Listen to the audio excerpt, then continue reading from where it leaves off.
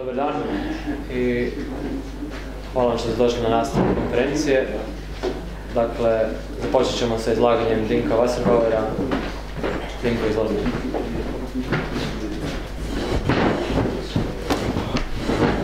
Dobar dan, e, znači na prošloj sindikalnoj konferenciji u jednu točku deklaracije ušlo e, radničko vlasništvo, pa bi ovaj kratki uvod u diskusiju trebao imati, upozoriti na neke probleme i prepreke koji se mogu pri tome pojaviti, ali prije toga bi se samo htio osvrnuti da se danas isprofilirali su se različiti načini radničkog vlasništva i odlučivanja koji se mogu istovremeno znatno razlikovati, ali imati neke zajedničke crte općenito kad radnici uh, osnivaju poduzeće da bi bilo radničko, pričamo o radničkim kooperativama ili radničkim zadrugama. Uh, obično svi uh, ujedinjuju rad, imaju jednake udjele, ako nemaju jednake udjele u vlasništvu, onda ti udjeli, razlika tih udjela ne bi trebala načelo jedan čovjek, jedan glas eliminirati, znači mora vrijediti načelo jedan čovjek, jedan glas.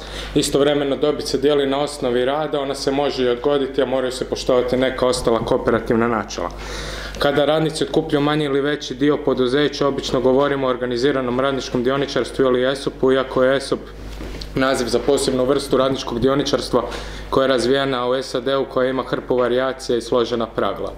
Isto tako još prije jedno stoljeće e, radnicima omogućena neka vrsta predstavništva unutar e, poduzeća koje su izrasli u specifičnim okolnostima i zbog različitih razloga njihova često proturječna uloga dovodi do proturječnih rezultata. Na kraju krajeva radnici mogu zauzeti poduzeće što bi bio najčešći slučaj u povijesti, nakon toga se mogu suočiti ili sa svom brutalnošću ovog sustava ili sa nekim kompromisnim rješenjima ili praznim običanjima koje se na, na kraju ne ispune ili na kraju postignu uspjeh koji je pod stalnom prijetnjom. Znači ako se razlikuju različiti oblici prema načinu na koji su nastali ili možda na načinu na koji nastoju ugroziti suprotnu stranu, oni imaju dosta zajedničkih crte, a ne samo u tehničkom smislu, već po tome što mogu e, služiti kao pogodno sredstvo manipulacije radnika, jer postoji velika razlika između toga kako će se neki model primjenjivati i kako bi se trebao primjenjivati, a kako, kako se primjenjuje.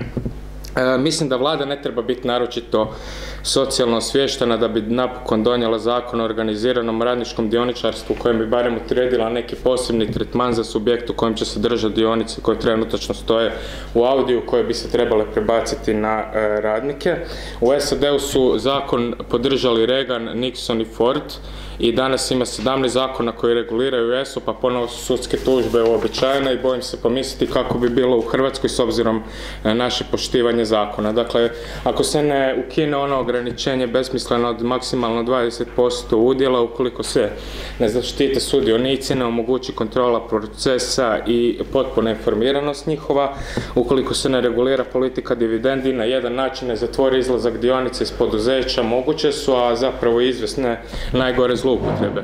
Između ostalog trebalo bi osigurati dovoljno kredita, a i prije toga vjerovatno skupa studija izvedivosti, a pošto dok su pod zajmom dionice ne mogu biti u potpunosti e, u raspolaganju radnicima, tada već počinju najveće zloupotrebe u smislu zastupništva i predstavništva i to je ona priča o dva vlasnika, e, dva brokera koje dolaze do vlasnika poduzeća i pitaju ga hoćete da vam pokažemo kako da prodate svoje poduzeće i dalje upravljate njime. Zapravo ESOP ima malo veze sa upravljanjem, samo 25% većinskih ESOP-a u Americi prosljeđuje puno pravo E, prosljeđuje puno pravo glasa. I oni to, to su odreda mala poduzeća koje rade na dobrovoljnoj osnovi, e, odnosno njihovi menadžeri koji najčešće iniciraju taj proces. U javnim e, poduzećima je, ako postoji ESOP, nužno provesti potpuno pravo glasa, ali njih čine ukupno 3% ESOP, a od tih 3% 1% je u većinskom kao vlasništvu. ESOP je zapravo izvorno sredstvo jeftinog financiranja poduzeća pomoću novoplasiranih dionica i zajma koje čije bi pomoću kojih se kupuje dionice koje onda idu radnicima i pojavljuju se kao tehnika korporativnog upravljanja, tek s vremenom ono počinje postojati sredstvo protiv neprijateljskog preuzimanja u Hrvatskoj se općenito spominje u tom smislu ili kao završna faza privatizacije. Postoji kontradikcija jedna što se ESOP općenito preporuča zdravim poduzećima, dok ga tu traže poduzeća koja su u problemima, odnosno umjetnom stvorenim problemima, odnosno sustavno uništavana, to sustavno uništavanje može biti jače od instituta radničkog e, dioničarstva i ako vas neko želi uništiti, može to učiniti preko zakonski reguliranog radničkog dioničarstva. I onda se mogu dogoditi nova torbarenja i e, dovesti do još većih problema nego što su bila. E, neizvjesno je zapravo hoće povjerenik koji upravlja dionicama u ESO podjelovati u interesu radnika, pogotovo ako nije biran od strane njih pa se ESOP može pretvoriti u nešto što su se pretvorila različita radnička predstavništva koja su zapravo prvi put uvedena za vrijeme Prvog svjetskog rata i nešto nakon Drugog svjetskog rata kad su država i kapitalisti tražili suradnju od radnika radi ratne proizvodnje, a istovremeno kasnije kako bi umirili radikalnije zahtjeve uveli su neka, znači priznali su pravo radnicima da sudjeluju u odlučivanju. E, čim su se uspjeli konsolidirati, oni su ih ukinuli da bi se oni u nekim drugim okolnostima pojavili nakon drugog svjetskog rata od Francuske do Indije. E, iako su imali pretežito savjetodavna prava, od njih se očekivalo puno, razočaranja su došla vrlo brzo da bi nakon 20 ili 15-20 godina niko to više nije shvaćao ozbiljno jer se pokazalo kao dobar način da se manipulira interesima radnika a istovremeno radnički predstavnici nikad nisu, e, nisu uvijek e, činili, e, branili prava radnika, kao što se recimo možda dogodilo neki dan u Hrvatskoj kada je troje od petero članova radničkog vijeća podržalo namjeru kapitalista da pusti radnika koji je radio u poduzeću 30 godina zato što je uhvaćen u kao alkoholiziranom stanju. Takve stvari se mogu znači, pojaviti i u e, neposrednoj participaciji radnika kada su radnici paritetni ili u manjini zastupljeni u nadzornim ili upravnim organima, tada radnički, radnički predstavnici su, rastureni dvostrukom lojalnošću koji ih prisiljava da čine kompromise i kad se ti kompromisi pretvore, e, s vremenom se ti kompromisi pretvore u ritual, dok radnici misle da su njihovi interesi na najbolji način zaštićeni. Treba shvatiti znači, da naravno da je nužno doneti zakon o organiziranom radničkom dioničarstvu i to da smanji zloupotrebe na minimum, a još omogućiti prije toga svim poduzećima koja ga mogu provesti da ga i provedu, te njima pružiti svu moguću e, pomoć i potporu. No, ni najbolji zakon organiziranom radničkom dioničarstvu ne može smanjiti zloupotrebe, to je spriječiti u potpunosti zloupotrebe, a vrijeme za taj proces može biti nekad predugo i može biti preskupo za radnika koji nema ni vremena ni novaca da otkupljuje ono što je sam stvorio i što mu je na najbrutalniji način oduzeto. U svijetu postoje radničke zadruge koje su uvijek bile zanimljive, no kada se ima na pameti da bi razvijanje jedne zadrugarske mreže moglo trajati desetljećima, a u ovim, uz ova ograničenja i stoljećima, teško je da se može očekivati da će one u trenutačnoj situaciji značajno značajno ju poboljšati. U strogom smislu riječi govori se uglavnom o osnivanju novih poduzeća, ne spasu postojećih. Teško da bi se omogućilo kooperativama da se razviju, da uđu neka rezervirana područja, ali da bi im se omogućilo dovoljno sredstvo financiranja. Poznato u znanstvenim krugovima da su kooperative radničke efikasnije od svojih e, od kapitalističkih poduzeća i osim što se utjecaj na okolinu ne može mijenjati, no ipak se njihov broj mjeri u promilima. To je iz jednostavnog razloga zato što zadružni rad nije kompatibilan sa kapitalizmom koji ga može iskoristiti u svoju korist e, ili ga uništiti kad god kad god se šteti, e, kad god se sjeti, tako se zadruge mogu pretvoriti isto u pogodno sredstvo manipulaciju kojem se daje privid slobode unutar jedne šire autoritarne strukture. Treba se sjetiti argentinskog preuzimanja poduzeća kada su radnici jednostavno zauzeli poduzeća bez da su riješili vlasnička pitanja. Proizvodnja se nastavljala bez problema i za to je bila potrebna šira društvena akcija te suradnja akcije i povezivanje radnika. Radničkih zauzimanja je bilo još od 19. stoljeća kad vlasnici jednostavno odu, radnici uđu poduzeća nastavljaju proizvodnju i često se susretnu sa svom brutalnošću ovog sustava koji je uvijek bio spreman učiniti sve da bi se zaštitili krupni interesi. Treba ovdje reći znači, da se ne pokušava nametnuti niti jedan od postojećih modela naravno, nego samo upozoriti koje posljedice on može dugoročno i kratkoročno donijeti. Radničko dioničarstvo u ovom trenutku može služiti dati na vremenu u vladi znači dati vladi kako bi e, dobila na vremenu dajući radnicima prazna obećanja istovremeno nastavljajući provoditi svoju neoliberalnu politiku uništavanja gospodarstva i daljnje rasprodaje poduzeća od čega se nećemo desetljećima oporaviti, a i teško je zamisliti kako bi oni bili sposobni napraviti jedan složeni zakon o radničkom dioničarstvu jer sam danas slušao na radiju da nisu predali ni financijske izvještaje do prvog trećaka, to su udruge naprave. No, unatoč tome, potrebno je dalje inzistirati na donošenju zakona u kojem će se sudjelovati sindikati, dati podršku radnicima koji žele provesti ESOP i probati im osigurati pravnu i tehničku pomoć, nadgledati cjelokupan proces, ali ne očekivati da će vlada to gledati samo tako.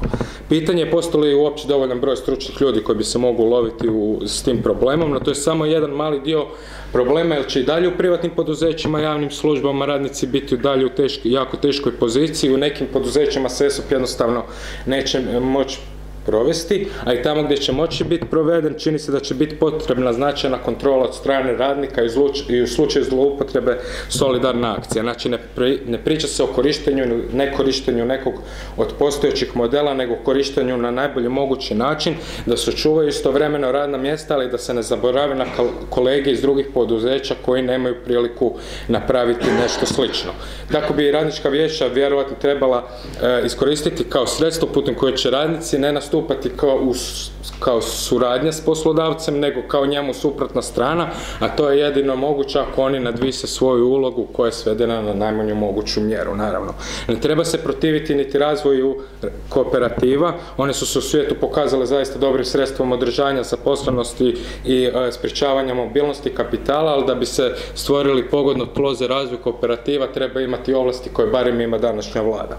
Ne smije se od zadruga očekivati da će same po, sebi nešto značaj, značajnije promijeniti. Čak i jedan od Mondragonovih glavnih direktora koji se smatra općenito najboljim primjerom kooperative u svijetu je rekao da su svi malo pretjerali i da jednostavno Mondragon djeluje na globalnom tržištu i u bespoštednoj tržišnoj utakmici koja ga tjera da se prilagodi ukoliko želi opstati. A unatoč tome e, uspijeva održati zaposlenost i smanjuje svoje propite što kapitalistička poduzeća nisu. Još jedna stvar je da Baskijski zadružni zakon vrijedi samo u Baski. Čim Mondragon izađe izvan Baskije, suočava se sa drugačijim pravilima koji ga isto tjera da se prilagodi njime. Znači ne radi se o tome da Mondragon ima neki univerzalno savršen promjenjiv model, nego da je zadružni rad moguć samo na drugim osnovama koji su bitno drugačije od ovih koje mi danas imamo.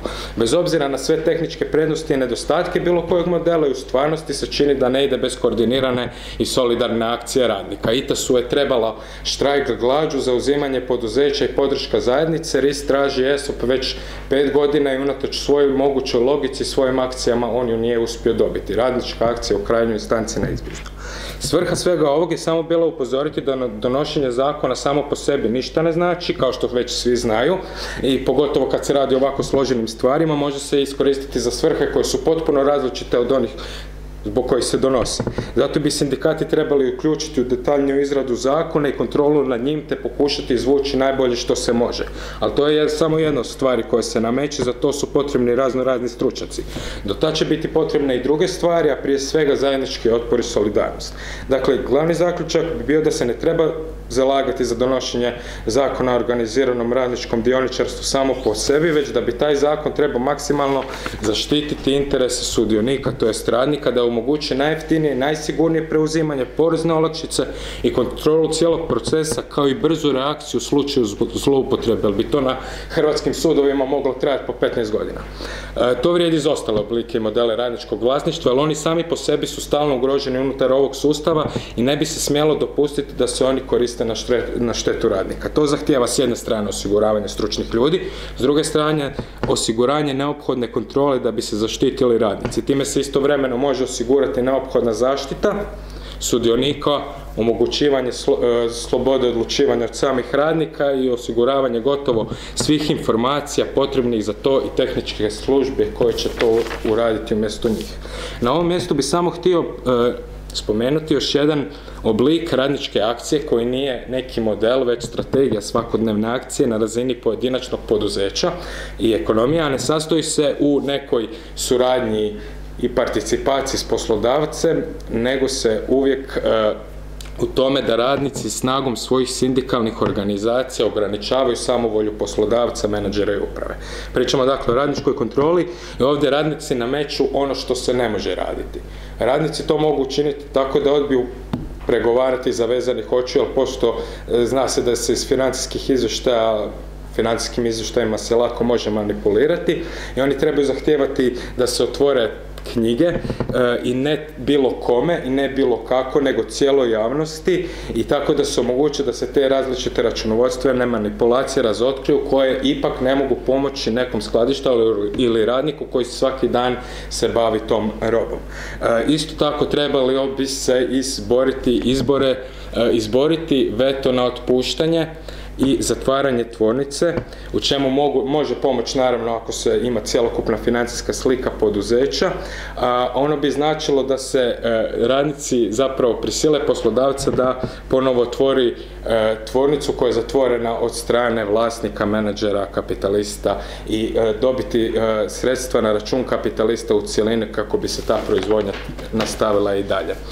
Znamo da puno poduzeća u Hrvatskoj, to se može, to se moglo čuti na ovim sindikalnim konferencijama zapravo nije da su ona neuspješna, nije da ona ne mogu poslovati, nego je neko mogu izvući veći profit da njih zatvori, a ovim bi se načinom, na, ovaj način se u jednu ruku može to spriječiti dok se neke razne birokratske e, formalnosti rade koje se uvijek pokušavaju otegnuti dok radnici ne izgube svu snagu i prestanu se boriti za svoje pravo koje im je dano. I tako da se na e, razini poduzeća e, osnivaju radnički odbori koji koriste ovo što sam prethodno rekao, znači prisiljavaju poslodavca da im pruži sve moguće račune ukoliko on želi zatvoriti poduzeće, oni to ne daju i ne daju da se neko otpusti bez da se njih pita.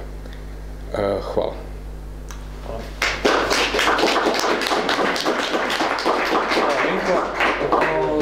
Dakle, pitanja vezana uz Dinkovo izlaganje. Nitko?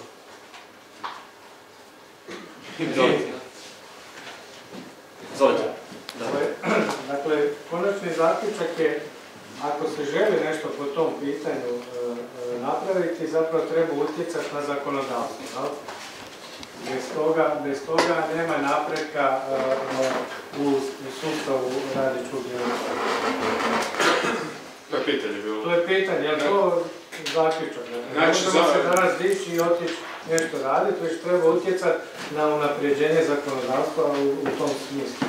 Pa, znači, zakon, zaključak je da zakon sam po sebi ništa neće, iz, ne može se, ništa, ništa sam po sebi neće i on neće biti donešen sam po sebi, pogotovo da bude e, najbolji mogući, e, već e, treba ostvariti na jedan način kontrolu nad donošenjem tih zakona, ali ako ćemo pustiti vladi ili nekom drugom da radi taj zakon, taj zakon jednostavno neće moći u potpunosti zaštititi interese radnika od svih manipulacija koji se pri ovom složenom procesu mogu donesti. Ali zakon je samo jedan dio cjelokupne priče i općenito zakon sam po sebi ništa ne mijenja, već je pored i za radničko dioničarstvo i za oblike radničkog vlasništva čini se da je potrebna društvena akcija, solidarnost i povezivanje radnika i to bi bio zaključak. Neki od primjera suvlasništva u poduzeću, primjerice komunalnom poduzeću koji čiji je osnivač jedinica lokalne samouprave. Primjerice, ako jedinica lokalne samouprave ima vlasništvo nad vodovodom, a to je u zadnje vrijeme često se spominje privatizacija voda. Dakle, ako jedinica lokalne samouprave ima vlasništvo 51%, da li, da li imate primjer da bi građani mogli biti suvlasnici onih 49%. Da li to ima u praksi, ne ide? A, koliko ja znam ima, ali nisam previše upoznat s time, ali mislim da ima nešto, ja mislim da je to u... U Velsu je negdje. velske vode. Velske vode, tako nešto, oni imaju neki, neki dio vlasništva. Mislim, ovo kako je krenulo sa rasprodajom Hrvatske, uskoro ćemo početi prodavati vodu, a govori se o Europskoj uniji da i to moramo privatizirati, a znamo da je to neslavno završilo gdje god se privatiziralo, osim možda tamo u Velsu, pa bi možda trebalo utjecati na svijest lokalne samouprave i građana da to uzmu u svoje ruke i da to ne daju stranci. Izvolite. Ja bih htio na jednom našem primjeru iz Hrvatske pravne države da ukažem baš kako zakon, samo donošenje njegov zapravo ništa ne znači. E, ljeti 2003. godine Račanova vlada, SDP-ova, da ne kažem socijaldemokratska, je donijela jedan veliku izmenu i dopunu, zakon o izmenama dopunama zakona o radu kojima su neke stvari kao trebale biti bitno drugačije rješene, međutim nije ništa zapravo bitno promijenjeno, samo je zakukuljeno. U jednom članku tog zakona koji je dakle donesen u ljeto 2003. a obzirom na kao veće izmene trebao je veći vokacijski rok pa je, su stupile na snagu odredbe 1.1.2004. Po slovu zakona su stupile na snagu. A, još se ne primjenjuje. prošlo je više od 8 godina od toga tada je jedna mala izmena bila, kaže, mijenja se članak, ne znam, taj taj, u kojemu vjerodostojna isprava je sada ovršna isprava. A radi se o potvrdi, obračunu o neisplaćenoj plaći. Znate, i isto tako obračuno o isplaćenoj plaći, o isplaćenoj i neisplaćenoj. To je prije, do tada je bila samo vjerodostojna isprava. Dakle, dokaz na sudu da je e, e, radnik e, zaradio toliki iznos. Tad je, znači, postala ovršna isprava, a, već prije je e, to nedavanje takve potvrde od strane poslodavca zaposleniku predstavljalo e, e, jedan od niza najtežih prekršaja poslodavca po zakonu o radu u kojemu je već tada kazna bila zaprećena 60.000 do 100.000 za poslodavca za svaki prekršaj. Sad, inače, znate da pojasnimo malo kada poslodavac u jednom mjesecu napravi taj prekršaj, pa sljedeći put isto tako, to nije jedan prekršaj, svaki put ponovo taj prekršaj napravi. To a, nitko još, vrlo mi je e, neobično čak da, sindikati e, e, ne znaju ili neće da znaju za tu, za tu odredbu. Dakle, osam godina nakon donošenja zakona uopće nemamo u praksi primjera da je radnik e, temeljem ovršne isprave ostvario svoju e, zarađenu plaću.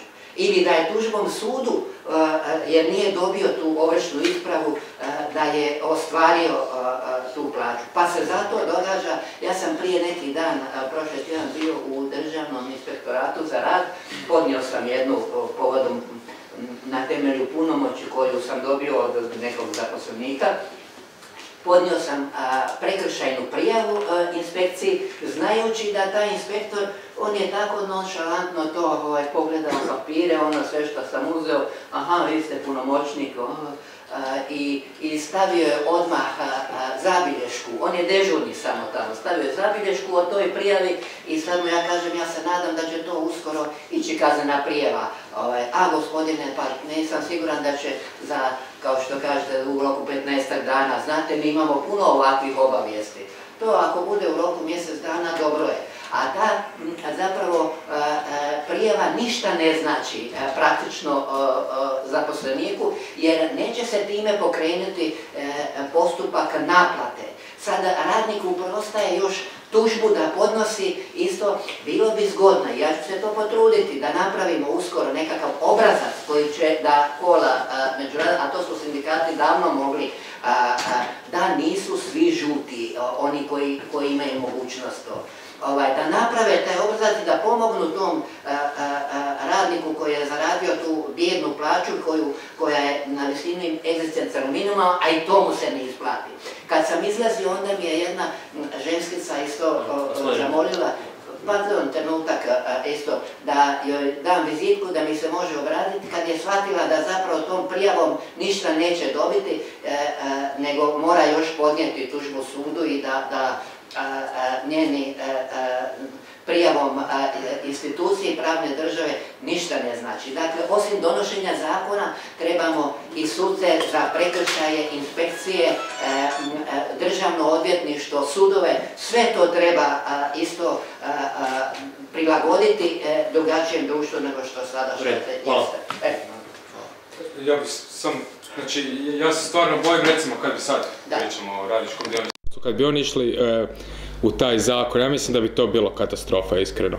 A pogotovo, mislim, ako ne mogu napraviti e, financijske izvještaje na vrijeme, znači to će jedna nepristojna udruga napraviti. A kako će oni voditi računovodstvo, jer ni, u Americi nije posao jasno kako bi se trebale knjižiti ovo, pa knjižiti ovo transakcije u ESOP-u. Mislim, to je dosta komplicirano i ja ne vidim baš da su oni, mislim, previše sposobni da bi uopće išli to napraviti. Kad bi išli napraviti sigurno bi uspjeli e, neku rupu ostaviti da bi se to izmanipuliralo, da bi se na kraju radnicima još za niže cijene kupile dionice, još ih se više uništilo, onda radničko dioničarstvo počinje raditi zapravo protiv vas, iako bi trebalo raditi za vas ukoliko vam neko ne da okvir i dopusti sve manipulacije. Ako se sve manipulacije zakonom, većina njih može izbjeći, ne možete u potpunosti izbjeći, nego morate imati neku cijelu, cijelu kontrolu nad cijelim procesom, to je dosta široko i dosta bi vremena zahtijevalo, mislim da nema vremena previše se e, obazirati, to jest računati na to da će oni to u nekom skorom vremenu donijeti, ali kad donose, naravno da bi to trebali sindikati imati kontrolu nad time.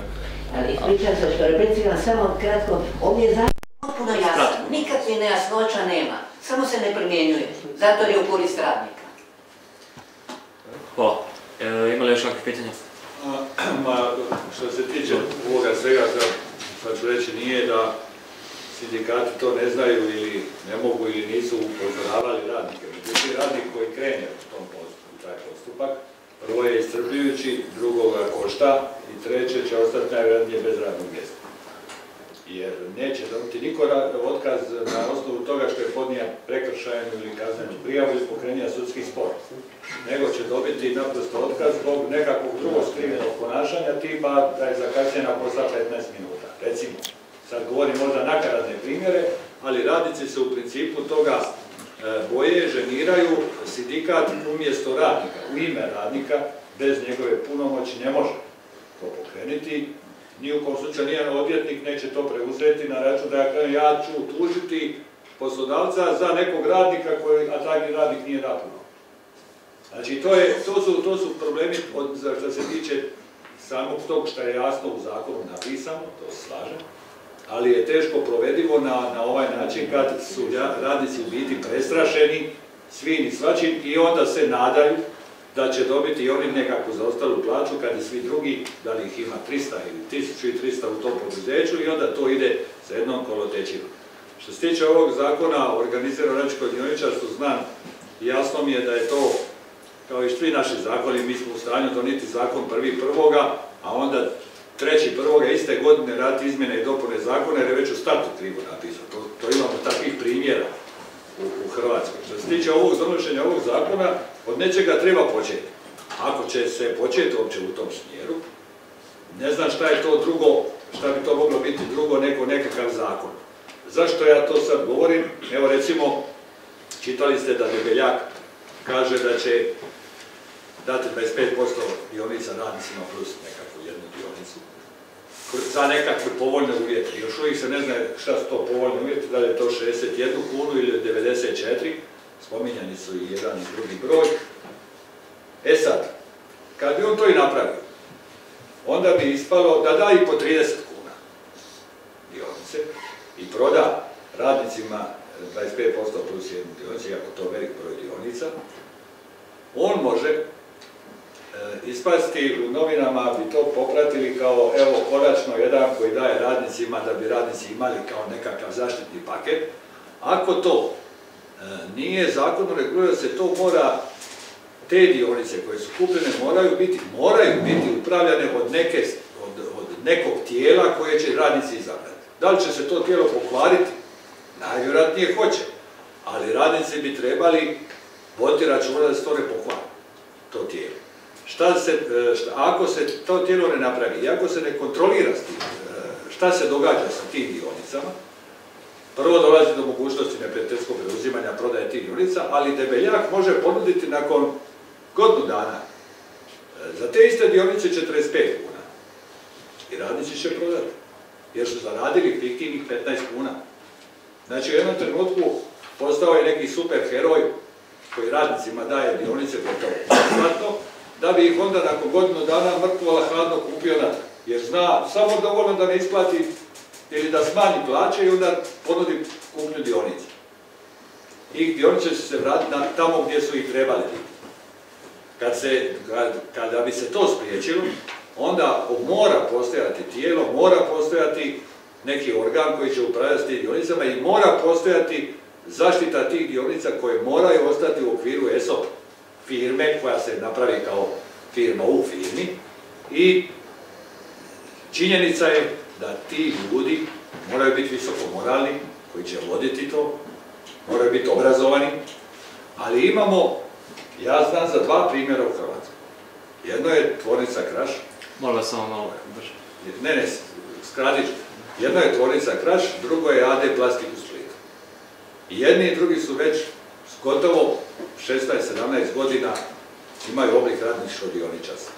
U Krašu je to e, širokog tipa, znači svi zaposlenici mogu biti članovi. U, e, u AD Plastiku je to menadžerski oblik radničkog dioničarstva gdje 21 čovjek ima najveći broj dionica, oni nisu ograničeni i gdje ima u Krašu gdje to nije tako. E sad, e, kad je došlo e, Dalmacija vino, to jest ja sam ovaj, napravio ESOP, mi imamo firmu koja se zove Dalmacija vino ESOP. E, e, jedno 15 dana nakon što je nastupio stečaj, stečajni upravitelj me zva i reka zatvori ovu firmu. Se reka neću. I tako je ostalo. I dan danas ta firma postoji. Doduše, puno je krnjava jer, je- jer smo stavili u društvenom ugovoru da samo zaposlenici mogu biti, znači svi oni koji su otišli, sad ih trebamo obeštetiti, sad treba napraviti skupštinu, pa cijelu tu proceduru napraviti, pa bilježnika, pa, pa opet preregistraciju na trgovačkom sudu i tako dalje. E, Sve je to problem. Slažem se, ali ako ne krenemo, vraćam se na onaj zakon, moramo od nečega krenuti. Jer sada u biti ne postoji ništa, postoji u biti dobra volja zaposlenika da li to hoće ili neće. E, to je jedino. A čak i zaposlenici koji, ma neće oni čitati zakon, ali ćeš i makar, makar će se moći reći, ali to piše negdje u nekakvom zakonu. Do sada je to sve nešto gotovo pa u zraku. E, Šta u biti ljudi kažu? E, lako je krašu kad on posli, lako je AD plastiku kad pravi autodjelo.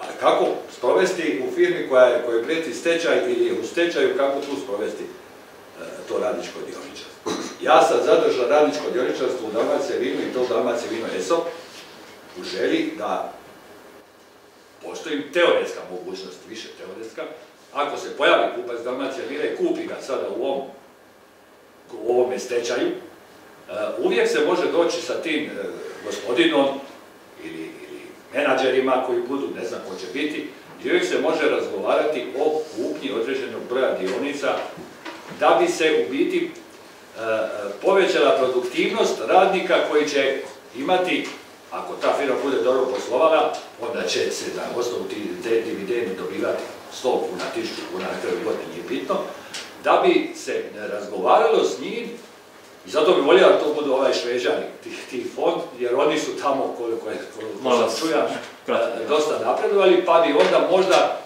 to dioničarstvo saživilo u Dalmaciji. E, Da, mene Prvo. mogu je Ne, ne, gospodin javio jedan prije, ti želiš li repliku, možda na ovo nešto? Ne. Onda još imamo još jedno pitanje, nažalost e, ja nisam najavio ranije, gospodin Bariga iz Itaca će e, također održati jedno kratko izlaganje, stoga će to biti nešto kratko. Samo, samo trenutak, molim vas, gospodin ima pitanje, izvolite. Kratko, molim vas. Pa ne samo htio sam e, upozoriti na to radničko jadivničarstvo. Profesor dr. Branko Horvat je jasno rekao šta se zbiva u prvoj krizi sa radničkom dionicom kad je glavni prodaje. Prema tome, ako se unosi, a mora se ući u zakon o radničkom dioničarstvu, ja to apsolutno podržavam, ja upotrebljavam jedan korak dalje od Branka, a to je da se mora stvoriti radnički dionički fond i da radnik nema prava prodaje dionice nikome nego radničkom dioničkom fondu. To je jedini način zaštite dioničarstva radnika i, i njegov, njegov put ka e, borbe e, protiv e, kapital odnosa. Da svojim kapital odnosom raspolaže on i kad je u krizi. Kad odlazi u mirovinu možemo e, primijeniti nešto slično ono što smo imali u društvenom vlasništvu, a to je onog časa kad napušta poduzeće, on je odlazio u zasluženu mirovinu i dobio je pristojnu mirovinu, 85% je bila e, puna mirovina. A ovdje, rad, e, taj radnički dionički fond neka e, otkupljuje onda njegovu vrijednost dionica i on od- odlazi, njegovo radno mjesto će doći. Drugi radnik koji, koji nasljeđuje. To su moja razmišljanja kako riješiti problem e, taj koji se u kapitalizmu pojavio sa radničkom dionicom još od doba Taylora kad je prvi puta uveo, uveo to. Druga bitna stvar je Ja, kad govorimo o, tom e, e, dioničarstvu i vlasništvu, bitna je jedna stvar što, što bi se u kapitalizmu moralo postići, jasno organiziranim sindikatima, da nam rad postane imovina. Jer ako je predmet rada kao novo stvorena vrijednost, imovina ima svoju cijenu, ako tvorničar ima svoju cijenu tvornice u kojoj se proizvodi taj predmet rada i ako sredstvo kojim se radi ima svoju cijenu, onda i rad mora ostati sa svojom trajnom cijenom, a ne isplatom plaće. A to znači da e, vrijednost rada koju je radnik uložio u taj proizvod i dok on ima tržišnu vrijednost, da e, akumulira i radnik iz te sada e, dobiti svoju vrijednost uloženog rada. Time bismo zaštitili rad kao, e, kao imovinu. Hvala. Žao mi nemamo više vremena za pitanja. ćemo Gospodine. Varga, Dinko, hvala.